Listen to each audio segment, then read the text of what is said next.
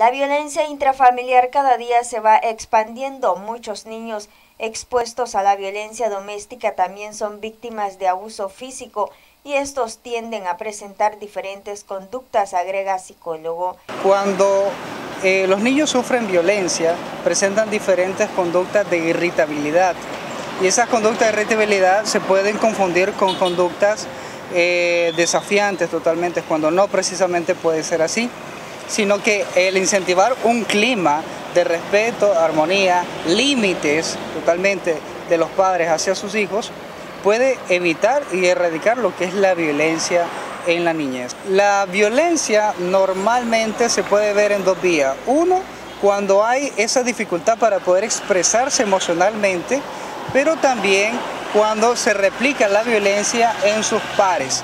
Entonces estamos hablando de niños que son violentos con otros niños, que son eh, agresivos también con algunos adultos, con figuras de autoridad.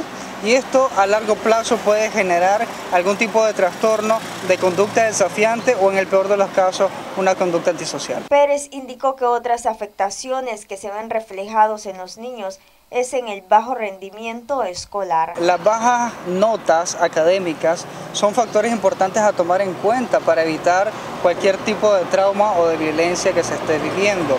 También eh, las problemáticas de eh, la escuela, los constantes llamados de atención de parte de los profesores, directora, son realmente signos de alarma y es ahí donde los padres tienen que poner cartas sobre el asunto. Noticias 12 Darlene Telles.